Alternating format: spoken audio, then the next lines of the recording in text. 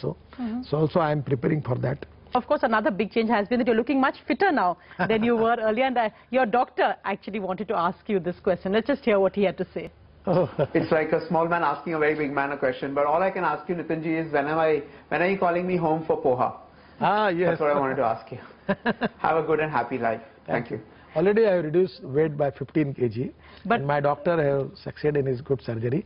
I am expecting at least I will lose 35 kg. Out of which 15 kg is already reduced. But uh, Pranab Mukherjee gave you r- rasgullas. I hope you didn't accept them, Nitin Gadkari ji. I hope rasgullas can't be allowed. No, but today, yesterday, at that time, I had taken that Rasgulla because that was from Pranav Mukherjee. He's a very senior man and he's also a great leader. It was a great opportunity to meet with him. I'm very much happy about him. And he's a very matured and great leader. As we end, sir, I just want to play this last clip again of Nitin Gadkari.